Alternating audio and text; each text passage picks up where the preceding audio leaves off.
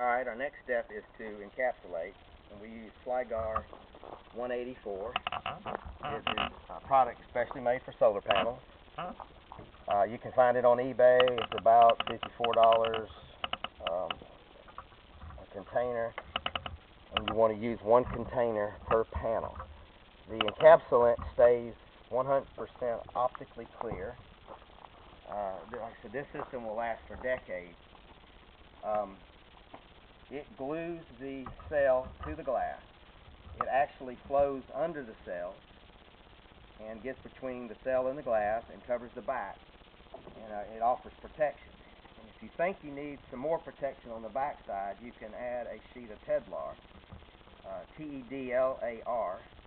It's also on the internet. It's fairly inexpensive. To cover this one, you're looking at about $12. Uh, I personally don't need them for my array the time I mount it to my system, there's nothing underneath that's going to hurt it.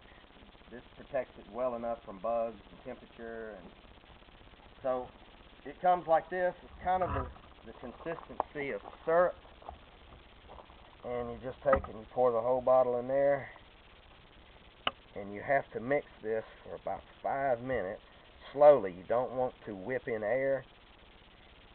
And you have about two hours to play with this stuff. So don't get in a hurry and, and rush it. And we pour it a certain way. I try to pour where I'm only pouring around three sides of the cell instead of all four to chase the air bubble out that gets, can get trapped under the cell in the glass. So we're going to shut it off just a second and let me mix this for five minutes and then we'll be back.